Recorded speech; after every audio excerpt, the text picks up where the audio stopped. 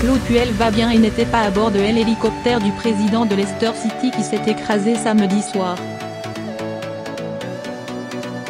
Il nous l'a confirmé lui-même ce dimanche matin. Je l'ai eu hier soir, samedi. Tout va bien pour Claude et sa femme. Grégory Campi, l'entraîneur de l'équipe 3 de l'AS Monaco, très proche de Claude Puel, a donné des nouvelles rassurantes de l'entraîneur de Leicester et ex-coach de l'ASM et du gym.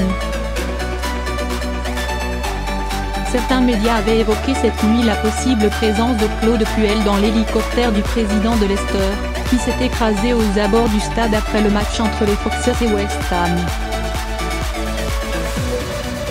Contacté par nos soins dans la matinée, l'entraîneur, passé par le gym et Monaco, nous a lui aussi personnellement confirmé qu'il n'était pas à bord de l'appareil.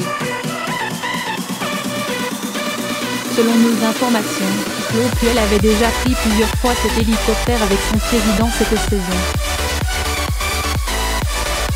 À 9h30, on ne connaissait pas encore le bilan humain de ce dramatique accident.